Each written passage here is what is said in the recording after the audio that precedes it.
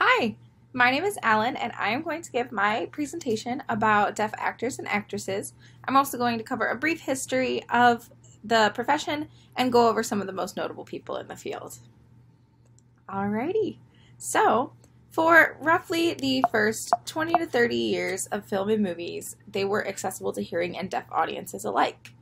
When movies added voicing and speaking, silent films were then phased out of popular media. These silent films had allowed for audiences to follow along with the actors' interactions and conversations, even if they couldn't hear the actual audio, because the would be audio was displayed on screen and was read by the audience instead. During this era, there were some deaf actors that found success alongside their hearing counterparts. Granville Redmond, who was a painter by trade, is one example of a deaf actor in these silent films who was friends with and often worked alongside Charlie Chaplin.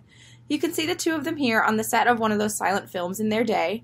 Um, and we also need to note that actors such as these typically didn't use sign language and were instead voiced by the text that was on screen.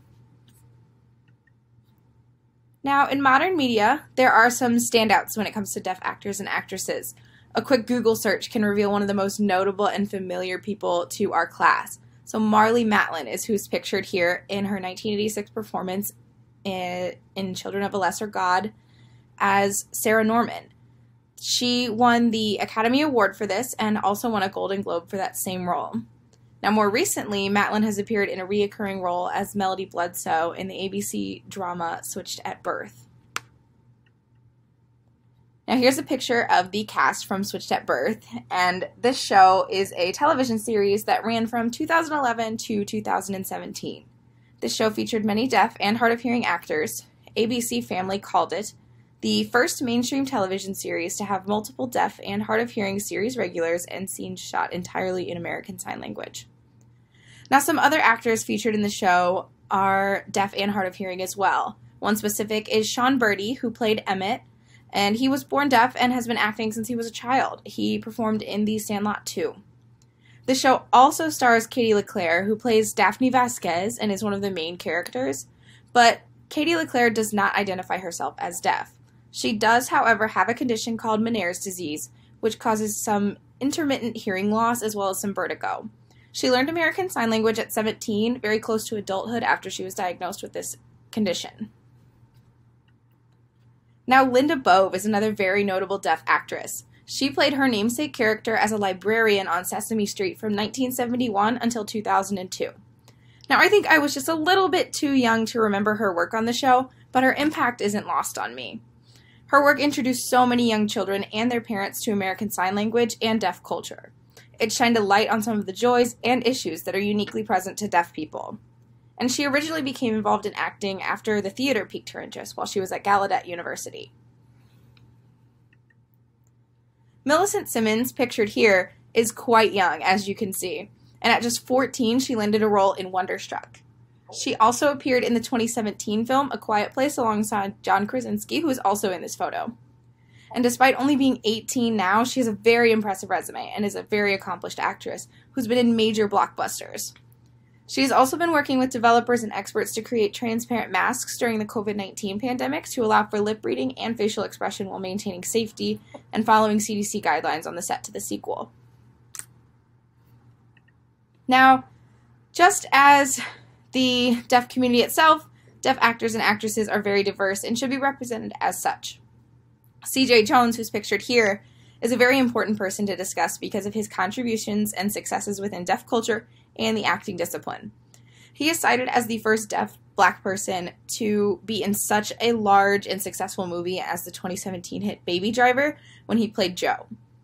He's also been featured in documentaries about the deaf experience as well as guest roles on some television series. Now, I personally really enjoyed learning from and about CJ. I learned that he and I share the hometown of St. Louis, Missouri. Now, in St. Louis, he was born to a deaf family, but actually uniquely lost his hearing at age seven. He then attended the Missouri School for the Deaf, and later on in life, he's played a huge part in writing and directing Once Upon a Sign, which is a children's show that retells classics through a deaf lens and uses ASL. He now continues his work in advocacy in Los Angeles, California. Now, while not exactly acting in the most traditional sense, many deaf individuals have appeared in reality television. Nyle DiMarco, who's pictured here in a photo shoot, was the winner of America's Next Top Model in 2015 and was the first deaf person to do so. He also performed on Dancing with the Stars for the 22nd season, and Marlee Matlin, who I mentioned earlier, has also appeared on that dancing reality show on the sixth season. Now, DiMarco was also an executive producer on the Netflix reality series Deaf U. This show centers around a group of seven deaf students at Gallaudet University Cheyenna Clearbrook, Rodney Burford, Tessa Lewis, Alexa Paule Simmons, Renate Rose, Daquan Taylor, and Dalton Taylor. And you can see a few of them pictured here in one of these promotional images. Now, these acting and reality shows are not without their controversy. The previously mentioned Deaf U was acclaimed by many audiences, but it did receive some critical feedback from the deaf community for its lack of diverse and accurate representation. While I haven't seen this series, I have seen Switched at Birth when it originally aired, and I'm more familiar with some of the pushback that that show met because of their decision to cast someone in a lead role as a deaf person who is not deaf and does not identify themselves as deaf.